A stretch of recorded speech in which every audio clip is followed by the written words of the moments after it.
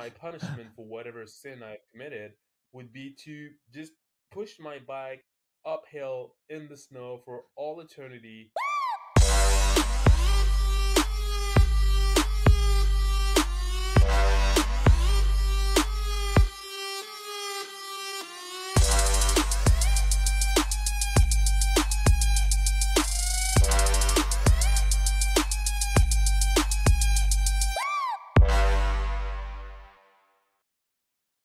Sofiane, welcome to the Roadman Cycling Podcast. Hey, Anthony. Thanks for having me on the show.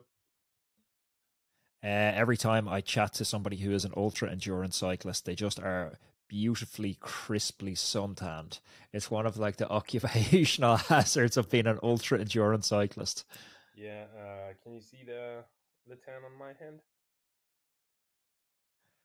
It's nicely, nicely layered. Yeah, it is. Yeah. I mean, we we spend all our time on the road, so you catch us in uh, in September for sure. October. It's October now. You catch us in October for sure. We're gonna have a nice, nice suntan. I just I just uh, finished a, a tour of uh, Corsica, Sardinia, and Sicily. So um, yeah, lots of sun in the in the last last Was- few weeks. Was that a race or was that like a self supported adventure? It was a vacation actually. So basically, basically my job my job is riding my bike, and my vacation is riding my, riding my bike as well. so, how did you make the transition to being uh you know, in gravel they call them like privateers. You know, it's not someone that's contracted to ride for a team, but someone who rides their bike full time for a living. So I'm not sure if there's a different ultra word than privateer.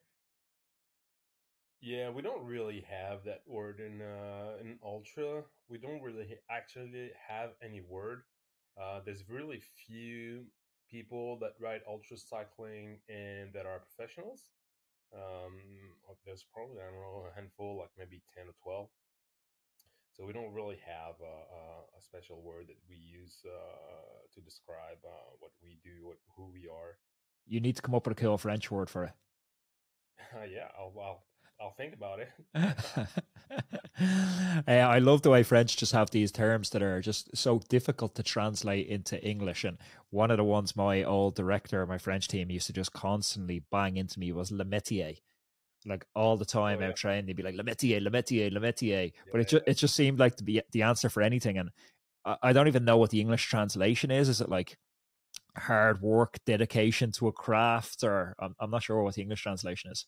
It's it's yeah, not even. It I w- I would translate it. I would say that it's it's um all of the little things that you learn while doing a job, and that you can only only learn while doing it, and that Yeah. you cannot learn um like in any other way. And that is what they they call le métier. It's Like when you say le métier qui rentre, it's when you you're actually applying yourself at a craft, and by you know uh, doing it, you have that experience. I would say, yeah, it's it's something like experience. such a cool word. It's one that stuck with me, and it's just uh, it instantly when I hear it, it transports me back to being in a tiny little town in France, having no money, just sore legs all day long, and it's amazing the power of just one word to tran- transport you back to a moment in time. Yeah, yeah, definitely. And um, happens also to me with uh, with uh, music. Like some uh, some songs when I hear them, I just get like really transported back to like one one place, one moment. It's like it's uh, or some smells also. It's a it's a funny way that the memory works. Like You're some like- some things are just imprinted in your brain. You're like Mm, 16 at the like- discotheque again, just throwing it down. yeah, just press that little button and it's just like time travel.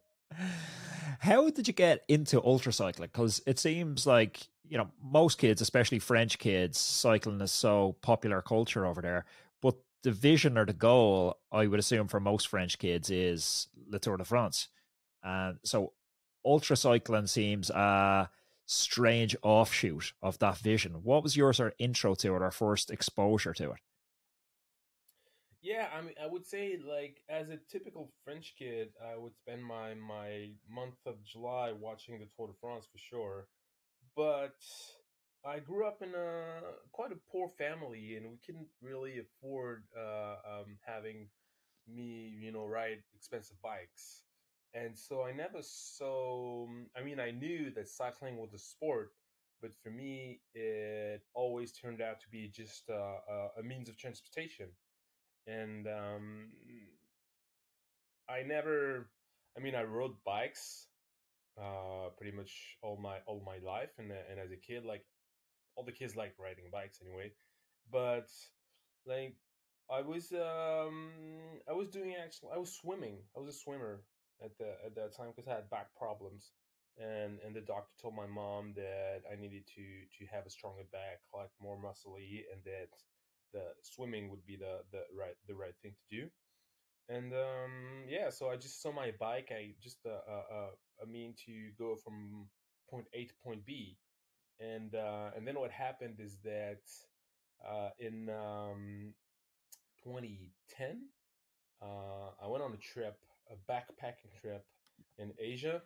And after like a week of traveling, I, I kind of felt that something was missing, uh, that it was not the adventure that I had uh, dreamt, and um, and that I needed to to change the way that I was traveling.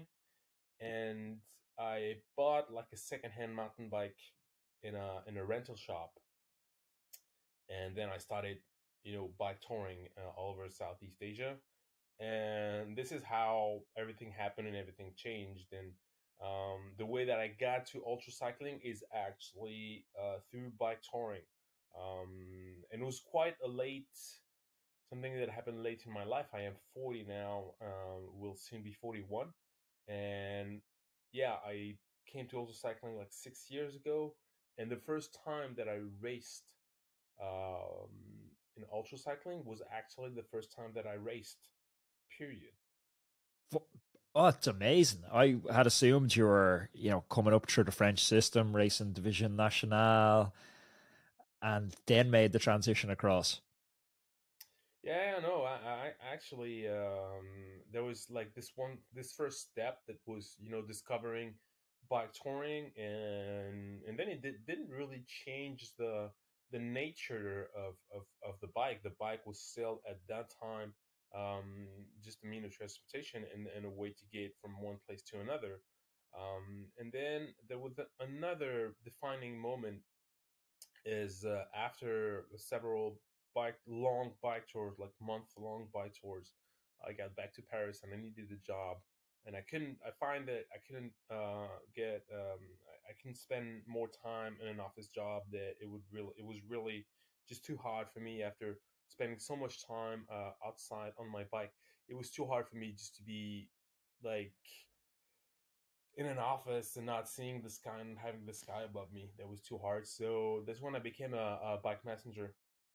And by becoming a bike messenger, um, I met other keen cyclists, obviously, and then I, I found out that I had um, I would say above average abilities as, as as far as cycling goes. And then yeah, when I heard about these crazy races that last for thousands of kilometers, I was like, it's it's still going from point A to point B. It's like bike touring pushed to to the max to like uh, this this limit. And and then I was like I know I'm a good cyclist. I know I'm fast. I know I have the endurance. And I kind of wanted to to figure out what I would be able to do um, in in one of these races. And I started with probably what was at that time the hardest race. And I did well because I finished third and then I was hooked. I was like, yeah, this is what I want to do. But I can totally hear when you're talking about the transition from, you know, doing these big bike packing adventures to going back into the office. Uh, last week or the week before, I was over in Spain, uh, signed up around Badlands, and then after Badlands, myself and a buddy decided to ride north from Granada all the way through Spain to Biarritz had a night in Biarritz, and then we rode across to Girona. So we like just shy of two thousand kilometers, on the ride. And so we were away for, you know, two and a half, three weeks, biking almost every day, you know, figuring out where to sleep on the fly. And then I came home and it's it's difficult to explain to somebody who hasn't bike packed, but it's like the volume is turned down on the rest of your life. It's like you're used to adventures, you're used to stimulation, you're used to the open air and the sunshine. And then I'm coming back into my normal routine of recording podcasts in a small little studio with artificial light. And that transition is difficult. It's I don't think it's a nice transition. I, I struggled with it for the week I came home. Yeah, it's hard, and you know, I don't suffer from it, but I know that uh, a lot of of people that race ultra, they like they do the race, and I would say for two weeks, maybe a month after, they have a form of depression. You know, because uh, for that that period of time the bike is all you have it's all you do and it's very meaningful i feel that when you're out whether it's racing or bike it's very meaningful and all of the um,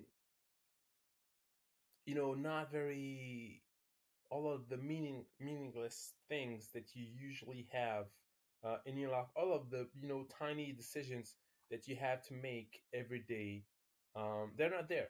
You know, when you wake up, it's like, what am I going to do today? I'm going to ride my bike. What am I going to wear? Well, you're going to wear your your chamois and, and, your jersey. And I mean, if you're like me, you just you you just have one. So the decision is all made. You have one outfit for riding and one outfit for not riding, and it's pretty much yeah. Everything is is it's not physically easy because you're riding your bike all the time, which is hard. But it's it's it's mentally very easy because all of the decisions are are, are made uh, uh, when the day starts. Like you you wake up, you get your breakfast, you get you get dressed, you get on your bike, and you have this mission for the day. And this mission is to get from point A to point B. And obviously, when you reach point B, you're quite proud of yourself because uh, yeah, that was quite far, and you did, you did it by your your own power, and you do this for a period of time, and it becomes your life, and then you have to make yeah. that transition to okay, now uh, I'm doing something else. It might not be as meaningful. It might not seem as important. Whereas if you're out there, say that you you're bike packing and you've you've uh, um, plan on getting to that space, that that town where you can resupply, where you can sleep, and before that, there's nothing. Well, you have to do it, otherwise, you're not going to be able to resupply. You know, you, you're not, you're going to be out there yeah. without any food, any water. So it's it's actually quite important that you reach the goal that you set in the morning and there's no. And for me, it was also uh, kind of. It was a weird way of shining a light on some of my own habits and society at large's habits. Like we're in this materialistic game of consumption where we need a new couch, we need a bigger TV, we need a nicer car. And when you start bike packing, it's the exact opposite mentality because I started out the trip with a set of flip flops I lost them after 10 kilometers. And I was like, okay, well, there goes the flip flops. You realize life is a game of having less, not a game of having more. And it's seeing how you can strip down your material possessions, not how you can add to the material possessions. I didn't go to the next town and buy flip flops or runners. I was like, okay, I guess I'm without flip flops. Now I'm going to have to wear my bike shoes in the evening going to the bar. And it's a beautiful lens to view the world through. Yeah, it's very true. It's very true that we live in this world where they're always trying to sell us stuff, and we're and a lot of people are trying to um, feel more complete by buying them. Um, whereas when you're on when you're on the bike, well, everything that you carry, you're gonna have to carry up all the passes that you're gonna cycle. so you don't want to carry anything that is like not necessary, and so you learn how to be a minimalist you learn how to just know okay like is it nice? Like when I I look at my my uh, uh, at uh, all my jerseys. Yeah, I like them. I like to I like to all all to have different colors and, and different styles, and it's it, in a way it's nice. But am I gonna carry all of them when I when I like I'm gonna have like seven eight jerseys when I cycle? No, I'm not gonna do that. I'm, I'm gonna have one two tops, and it's it's enough. And you find out that yeah, it's enough. And actually, maybe when you put on your your nice new jersey that one time in the morning you're like, oh yeah, it's nice uh, to wear it for the first time, or oh, like you like that color. But actually, yeah, then you go out on your bike. Do you think of your nice jersey all the time? No, you just think of you know all the stuff that you, you think of when you're when you're cycling and you're and then what that's what happens when you go on a, on a on a bike tour when you go bike packing you find out that you don't need that much actually in a day you just need the clothes on your back, and uh, obviously you need your bike too. Otherwise, you're not going to go far. But yeah, there's just just a, a, a lot of stuff, and it's the same for the bike you're riding. You know, like I'm I'm I'm a cyclist, so I'm like all cyclist, which is I'm you know fascinated by all, and and and really attracted by all the the new stuff and the and the and the you know lighter faster and it's all the new technology I'm, I, every time that something else uh, something new comes out I, I, I read about it and I'm like yeah this this this is very interesting. But but also bike packing seems to have its own like sector of tech and i was totally unaware of this before i went into badlands because I ended up making life harder for myself because I went in with like battery powered lights. And then on the first day, I see one of my friends and he's like running a dynamo. And I'm like, what? This is a, like, you can run a dynamo? This is, I haven't seen these since like 1990s. So my dad used to build bikes. I'm like, these exist, and people were using solar powered Garmins. Yeah. Like I'm running around with a twenty thousand amp hour battery that's like carrying, you know, a house brick up the climbs, and you guys just have this, you know, the subsection of tech for ultra endurance dialed, and I don't think roadies or gravel riders are as plugged into those tech advancements. Yeah, it's uh, it's um it's interesting actually to to to look at all the things people do in in bike packing it's like there's bike packing is about problem solving. It's you're gonna be on your bike for you know 18 hours a day and, and so you're gonna face some challenges that you know just conventional uh, road cyclists are not gonna face. And it's very interesting and also it's it's it's it's a very niche part of cycling right now. So you have to you have to sometimes solve these problems yourself.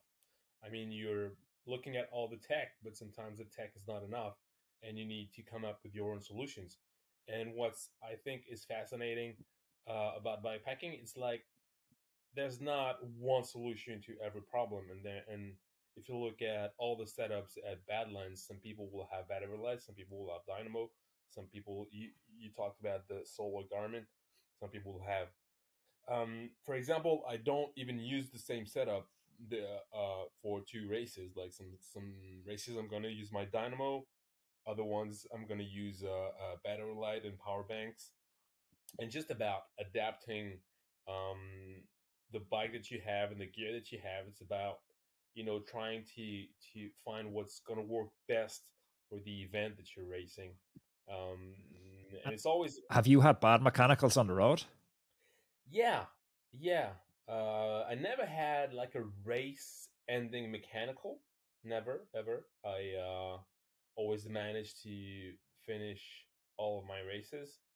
Um, but yeah, this one time I had uh, uh, a problem with my wheel, where the um, the the the wheel had been rebuilt because there had been a, a, a problem with the with the hub at the at the at the start, and um, the guy that rebuilt the wheel used the same spoke despite the fact that it was a different hub, and uh, actually the spokes were two mil uh, too short, and after a bit more than a thousand k, um, the the nipples started breaking, and Oh, I found no. myself somewhere in Kyrgyzstan at an altitude close to four thousand meters at night, uh, having to deal with the uh, uh, rear wheel that was missing uh, five nipples, so five spokes, and uh, How do you fix that problem on the go? I so basically I could I could hear the the nipples breaking like one, two, three, four, and when the fifth one broke, the wheel couldn't uh, turn anymore because it was rubbing on the it was rubbing on the frame. And so what I did, so all the all the nipples were breaking on the on the drive side. So what I did is that I unlaced a couple spokes that were on the non-drive side and laced to the to, to the to the drive side and um, then I was able to keep riding a little bit, and then I managed to find a, a, a taxi to the nearest town, and in the nearest nearest town, I went to um, to hardware store, and I was lucky that they had spoke nipples, and so I replaced. I re- completely relaced the wheel and replaced all the nipples, and then I was good to go. Uh, You've got to be a pretty proficient bike mechanic for bike pack and our ultra distance. Yeah, definitely and like if i had no notions of wheel bending at all it would have meant that you know my race would have been over uh and yeah it's uh it's it's a competence that is is really useful to have like if you're able to do pretty much i do pretty much everything on my bike um there's problem yeah no I never go to the bike shop actually. I do everything. Um and yeah, it's it's uh it's it can save you in a race. Like if you're if you know your your your bike in and out, if you're able to to to first off knowing what's wrong and then fixing it, then it's just something that is going to help you somewhere down the road where because at some point you're going to have mechanicals. It happens to everyone. And if you're able to to fix it by Uh, yourself, you mentioned Kyrgyzstan and your you won Silk Road mountain race. Congratulations! Uh, for anyone that doesn't know, it's like what's it, nineteen hundred kilometers, thirty seven thousand meters of climbing. yeah. The videos of it just look wild. Like they look like from a different universe. What's it like to to kind of stand on the start line and know that you're facing into such a mammoth task? Um, I mean, so I raced it twice last year and this year, and I won it twice. Um, standing on the start line was exciting, actually. Uh, I knew I knew that it would be a really hard race and probably the hardest one. Um, but it's just for sure it's a mammoth task, but that's why we do it. You know, ultra cyclist, we want the the ultimate challenge. We want to be um, in the most remote place possible and climb the highest mountains. And it's like if you don't have that taste for challenging yourself to to you know what is the hardest possible thing that you can do, you're probably not going to go into ultra cycling. And And so, what was your winning time for Silk Road mountain race? I think last year it was a bit more than eight days, like eight and a half. Uh, and this year it was uh, just a little bit over seven days. And how much sleep are you getting across those seven days? Uh, so this year I slept. Uh, I didn't sleep for I think like three nights. Like the first night because we started at midnight, so for sure I didn't sleep the first night. Uh, nobody nobody did actually. Then I slept uh, another three nights, and then I needed to I needed to place like what would be an attack, you know, and um, so I cut out three hours of sleep and just slept for an hour. Um, and then the last night I was kind of in the sprint finish with uh, James Hayden, and so I didn't sleep either. So that's um, yeah, two complete sleepless nights, and one night that was just one hour. And does your mind go to a strange place when you're going without sleep, or does your decision making falter, or have you noticed any sort of ill effects of it? Um, if you, I mean, on other races, I've pushed uh, sleep deprivation much, much further than this, and uh, the worst that happened to me was going in sort of delirium. Uh, it happened to me twice. It happened to me in Italy, and it happened to me uh, in Switzerland on shorter races. And on shorter races, I tend to, re- I tend well, maybe I wouldn't do it anymore, but uh, I I I cut back on sleep like really really a lot, not sleeping at all for several days, like three or four days.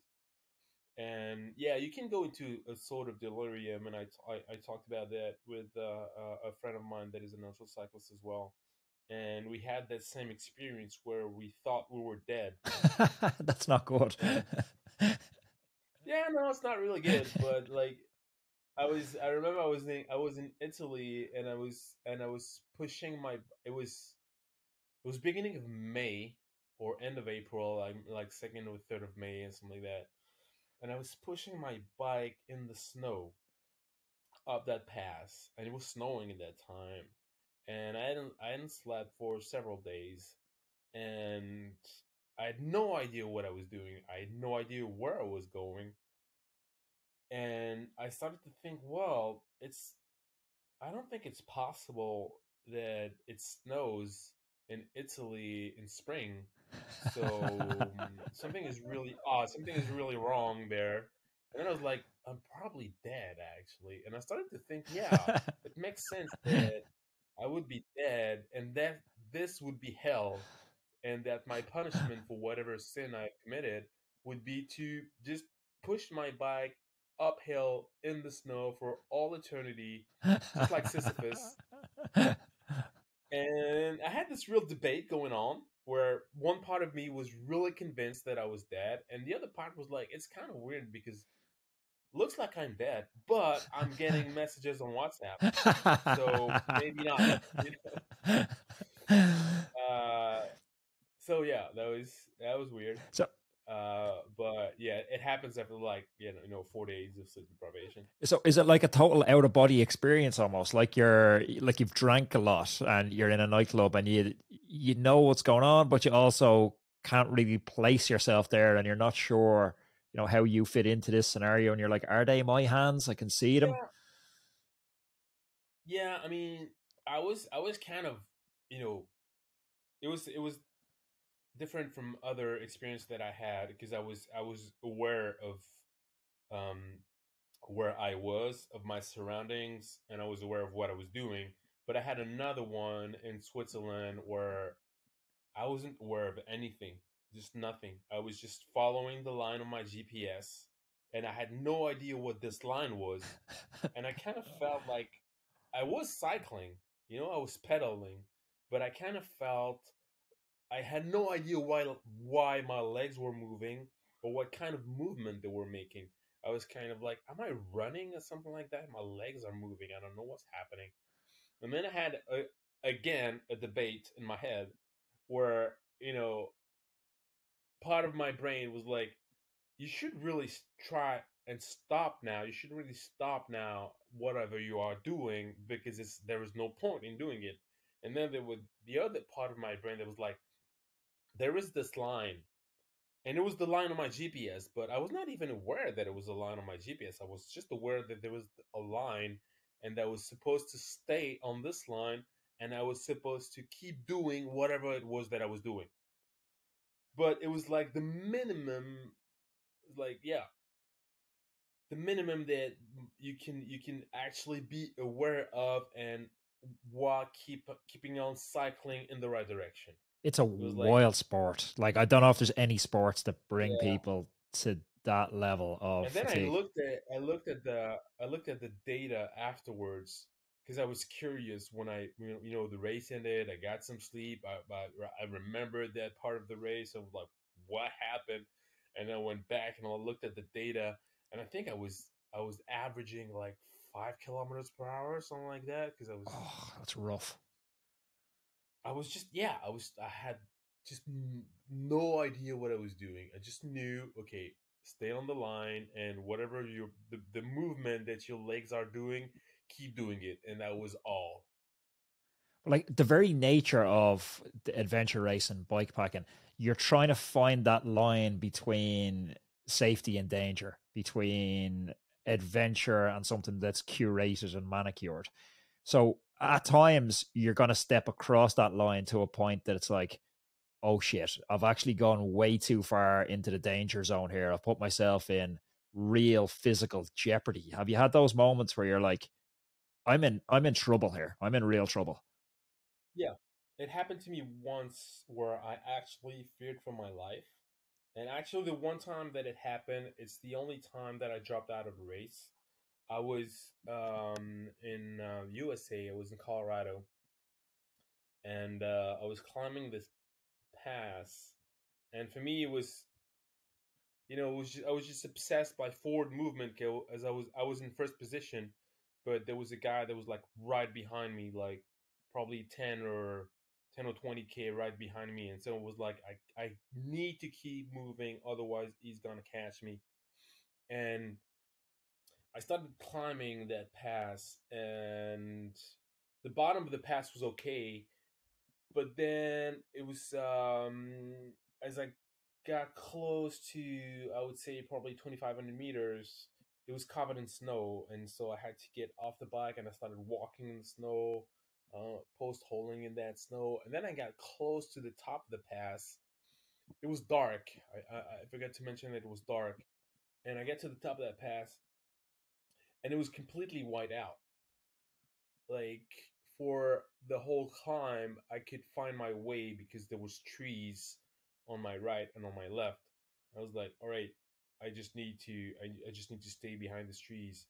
And I also forgot to mention that the the GPS track that we were giving for the race was um, not super accurate.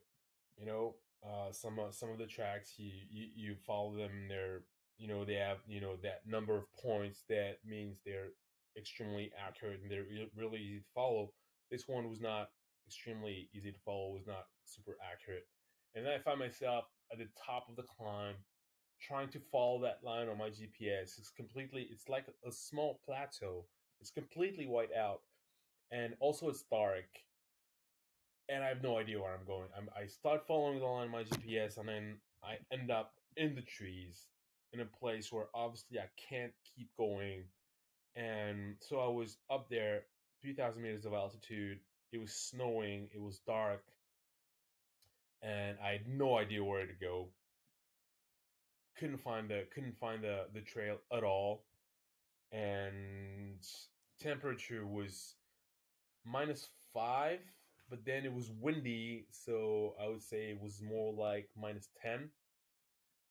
And I was wet, obviously, from all the walking. That's a tough. That's a tough, tough spot to be in. Yeah, yeah. And then I was like, okay, I can't, I can't risk it, which is like pick a direction and get in that direction because if I get lost here, if I have no idea where I'm going, it's it's just too dangerous. You know, to be completely lost in that snow in that in that in that snowstorm it's just too dangerous i can't do that so i need to wait um, for uh, dawn when it's gonna be light and maybe i can see the trail and so i got in my sleeping bag um, with an emergency blanket and i stayed there for like i don't know a couple of hours but i was shivering there was no way that i could get any sleep and my temperature my body temperature was dropping and after a couple of hours of shivering in my sleeping I was like, I was like, I can't do that. It's just too risky. Just to stay there. It's getting colder and colder, uh, and I had no idea where the trail is. And I decided that you know the safest thing to do was actually to backtrack. The the the the I had my my own tracks that I could follow, so I know would not get lost, and I knew that I could get back to safety. Uh, and then I was like, okay, I I grew up. I'm a city boy. I grew up in Paris. I'm not used to the kind of, of you know extreme weather and hostile environment and I'm not sure that I'm gonna do what's right to survive. So better to pull the plug and you know backtrack and get back to some place where I know it's safe. And uh, and once it's even interesting the idea of pulling the plug because if you pull the plug in a road race, you get picked up by the car yeah. behind. You pull the plug in an ultra endurance race, you've still got a lot of survival to do. Yeah, exactly. yeah, yeah, it's uh, and sometimes it's actually why you don't pull the plug is because you you can't even do it. It's like when I had my mechanical on uh, on the Silk Road last year. Um, so when you have a problem on this race, uh, you can actually send a message to to the organization, and the organization organizes a, a taxi that's gonna come and pick you up. It will take several hours because it's a it's a big country with just very very bad roads and and very bad cars as well. But at some point, you know, if you're patient enough, a, a taxi is gonna pick you up. But there were last year and every year actually there's parts of the race where it's not possible just because a car cannot physically get to where you are. And when i had my mechanical i was in one of the two spots where it was impossible to get picked up by a taxi.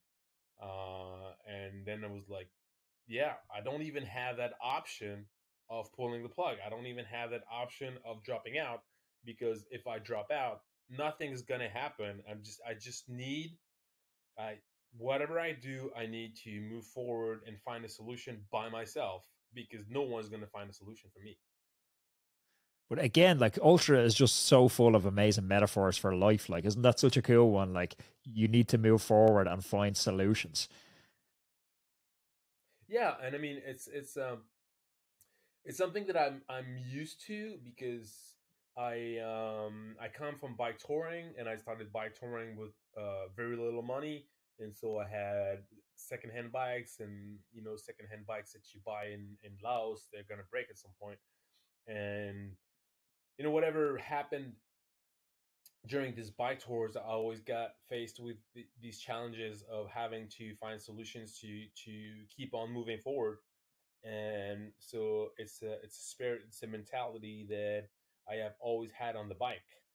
That um, you've had um, you've had these uh, you've had some epic results like you know winning Silk Road Mountain Race, winning Tour Divide. You know I think you were top five in Badlands, Atlas Mountain Race, another victory there.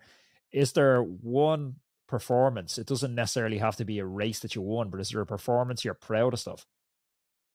Um, I would say the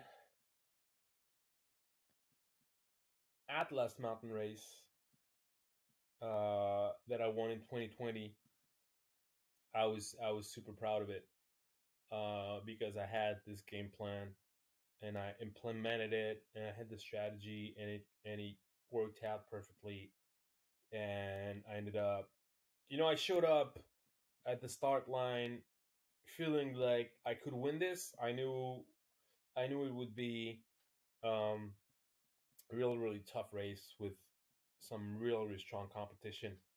And it was like, I think I can do it. I have this game plan. If I if I implement it, and if anything everything goes well, I think I can I can finish first. And and it worked out, and I was I was really happy because it was my biggest victory at that time. There was some really really strong guys like James Hayden, uh, Jay Petervary. There was also some former pro racers like Mattia de Marchi and Christian Meier. And it was a really, really strong field. And for me, just to be able to to win um, on on this course that was really hard with such a strong field, um, that was a huge, huge uh, accomplishment. And at that time, I was I was pretty much unknown, and this is when I I, I, I kind of burst onto the scene, and people you know started noticing me they're like oh okay there's this guy and he won in one atlas mountain race and it was it was packed with a lot of real really strong racer and it was um, like my first, was that the race that allowed you to do this full time? Uh kind of. I, it, it's it's after that race, I started getting sponsors, and then I kept, you know, kept racing, kept winning, and then the the so it was in 2020, and then 2021, I uh, I managed to to get enough sponsors to quit my job as a bike courier, and um, and now amazing. My second year as a as a professional, you know, bike packer, ultra endurance, whatever. Yeah, we still haven't figured out the word for it. What's the French word for privateer? That could be a cool word for it. Uh, I think it's corsaire. Because privateer, like uh, I think privateers are are uh, pirates, right? I think so. I think that's where it comes from. Yeah, I think they are pirates that were like contracted by actual governments, and I think that the um, the French the French term is corsair, which is a cool word. What's amazing it's a real cool world. I'm gonna start using it now. Uh, but what, what's so amazing at the moment in cycling is it's it, there used to be hard verticals, hard lines between road cycling, mountain biking, cyclocross, gravel, bike touring. These lines are all getting very blurry. You're getting road cyclists coming in and doing gravel races, gravel guys starting to bike pack, bike packers doing ultra endurance, and it's brilliant because it's it's still a niche sport. You know, it feels like the world to me, and it feels like the world to you but it's not soccer. It's not American football. It's a small sport, and it's great to see this cycling community breaking down those walls of division and starting to become just one homogenous community. Yeah, and and definitely it's a lifestyle too. Um, and I know that once you get into into cycling, it's it's um it's a sport that you have to use a bike to, and the bike is a fascinating object.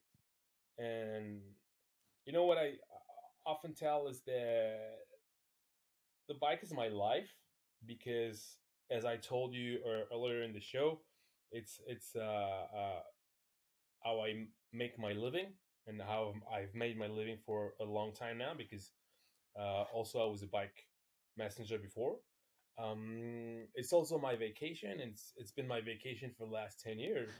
Like every time I go on a on, on a trip, for me, any vacation is gonna have cycling in it, and I'm also just just passionate about the object. I love just you know taking care of my bike and and taking care taking care of the uh, of my girlfriend's bike and just you know spending an entire afternoon just uh you know you change your cassette your chain you just uh change all the all the cables and stuff yeah. like that that i love that. I love doing that. And it's just it's just, i feel it's much more yeah it's a sport but it's much more than a sport. I mean it can it can actually become your your whole life to the point that at, at some time I was like isn't it too much? You know it's a it's a lot when you when you spend all your time just either riding your bike or taking care of your bikes. At some at some point, I was like, isn't it? Isn't life? Shouldn't life be about you know more than this one thing? And then I figured, well, for a lot of people, life isn't about anything. You know, so uh, for a lot of people that don't have any passion, so having that passion, even if it fills up your whole life, well, it's, it's I'm gonna say why not? It's it's actually really cool to have that one thing that you love that you love so much, and I think this is why um, people are starting to you know to cross these lines that you were talking about because they they they find out that sure you're racing on road that's great but you can also you can also you know do that same thing on gravel and it's going to be similar but different and then you can you know try it on a mountain bike and it's going to be you know even more different and you can use you know the gravel at kind of a bridge between you know road and mountain biking and you're going to find that and i love all of them you know? I couldn't like keep to one discipline. I couldn't be like all right from now on i'm just going to do just mountain biking or from now on i'm just going to do road cycling. I need I need them all. I need, you know, the gravel, the road, the mountain bike. They all offer their own thing that is unique and and you know, I was I was on a on a road biking tour like one week, and then sometimes I would see this gravel trail in the distance. I would be like, wow, yeah, I need to come back here with my with my gravel bike, and it's just like but even to build on how all encompassing you see the bike as in your life, I've also I've spent a lot of time, you know, talking through the podcast is like therapy sessions for me at times. You know, I totally forget other people listen yeah. to this. For me, this is just you and me having a conversation about cycling. And when I Uh, when I start thinking more about it, it's like the bike, it's such a simple solution to some of the most complex problems we have in the world. Like we've some of the smartest minds in the world trying to figure out traffic congestion. Elon Musk's digging tunnels under LA. The bike fixes that. To reduce obesity, the bike figures that. We pharmaceutical companies talking about how do we, you know, improve happiness levels through pills like serotonin the bike largely fixes a lot of that too. And it's like such a simple, simple tool, but it has such amazing applications across the whole of society.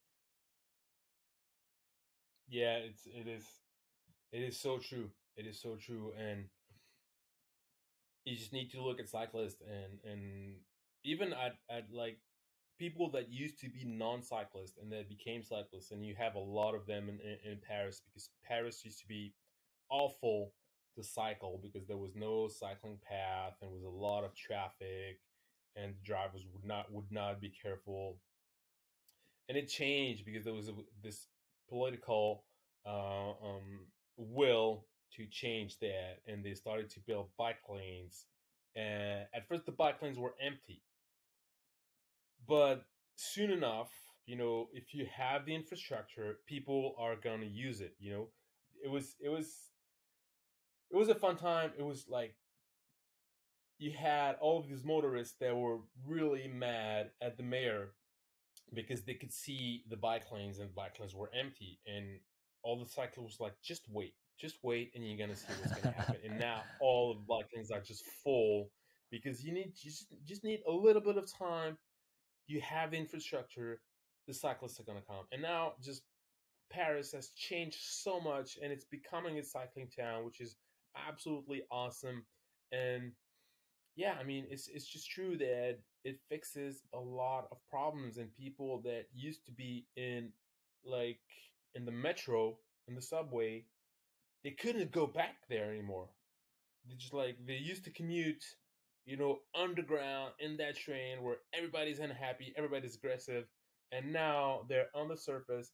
They have the they have the the sun, the sky, and they're just you know exercising and they get to they get to their office faster and happier and i mean i know it you know it and we just wish that you know everybody knew it but it's gonna take it's gonna take some time but i feel it's happening. I mean you just look at the boom that the bike industry is has experienced last last year and the and the and this year and obviously more and more people cycle and more and more people are gonna cycle and it's it's important that we keep developing this not even just the sport but the yeah a, as a mean of transportation and and we keep the you know the kids interested in in in cycling and it's just gonna make earth a better place. You know the more cyclists that you have and the and the, and the better it is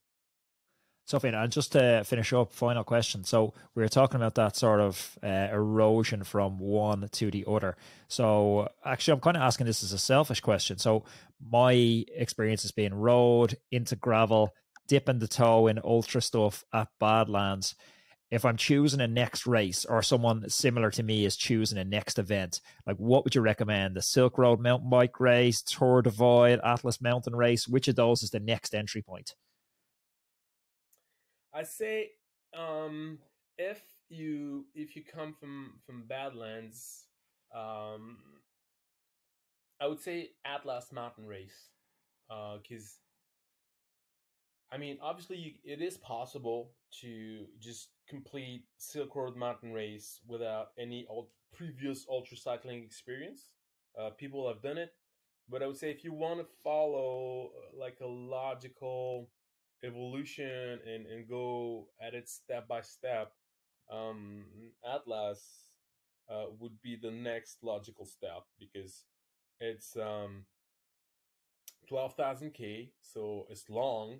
It's definitely longer than that, than Badlands, but it's going to be yeah, probably twice as long as as uh, the time that you needed to complete Badlands, and it's going to offer some of the challenges that you're going to find in in Silk Road, for example, but it's not going to offer all of the challenges. I mean, the weather is not going to be as extreme. The the, the altitude is not going to be you know a problem because you're not going to go as high. It's it's remote, but it's not like crazy remote. Like in Silk Road Mountain Race, you can have like 200k without anything, no chance of resupplying.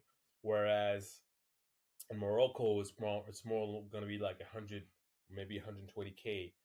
So it's going to be plenty challenging for sure. Atlas is hard, um, but it's I, I would say Badlands is a great way to dip your toe into ultra cycling, and then yeah, I feel like if you do it and if you like it, then you can you know be you can you know follow that path with Atlas Mountain Race and be like, yeah, okay, I feel like I'm ready to do something that is longer, that is harder. Uh, but it's it's not going to be as extreme as Silk Road, where Silk Road is amazing. Silk Road is just a, a, a beautiful, rewarding adventure, but it's also extremely hard. And it's, it's also going to face you with pretty much all of the challenges that ultra cycling offers.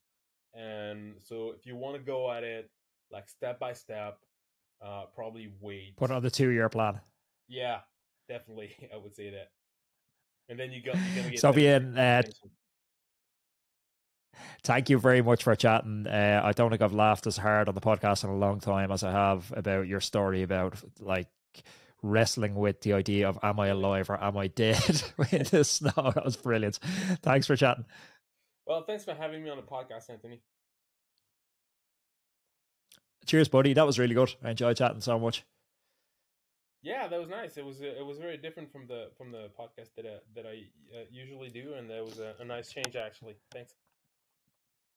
Yeah, it's super easy, informal chat, but the podcast is like blown up the last you know seven, eight months, or over a hundred thousand people listening to it now.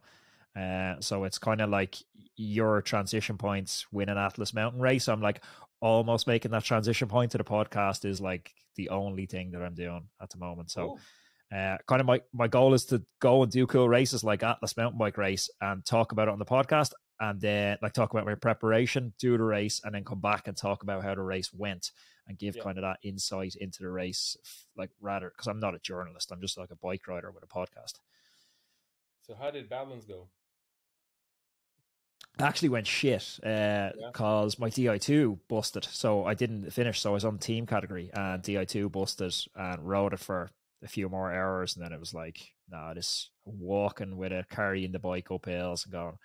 I'm gonna be walking for seven days here, so I got to go back out and do Badlands next year as well. Yeah. So I heard the it's course was be a bit, was a bit faster this year. Yeah, I think it was. Yeah, they took out some of the the harder hike a bike sections. Oh, yeah. uh, so actually, a, a, quick one for you before I go. My buddy that uh, done Badlands with me because we're in the team category. Uh, we're, we're, almost a month finished now. He still has numb fingers from it. Do you ever experience that? Yeah, yeah, that's very common. it takes, uh, yeah, it can take uh, up to two or three months to go away. Usually for me, it, it goes away if I don't do anything. goes away for after like a month or or so, but it can be yeah, can can take a bit more time than this, but it's very common. Uh, yeah, it's a, it's a weird one. I guess it's just from reduced circulation. It's it's uh the, there's a nerve here, the ulnar nerve, and it's compressed. You know when you spend a lot of time on the on the handlebars, and it it conducts the the feeling in your in your fingers, and so when it gets compressed, that that's when you lose the the feeling at the tip of your fingers and usually starts with the little one and then uh, you don't really lose it on your thumb but you know it goes like this Interesting, interesting. Uh, I'm gonna, I'll hit you up. I think I'm following you already on Instagram. If I'm not, I'll follow you now. Uh, but definitely stay in touch. And if you're doing any cool races, you know, jump back on the podcast, talk about your how your prep is going, talk about you know your hopes for them. So you're welcome back anytime. It was a great laugh. I love chatting. Sure.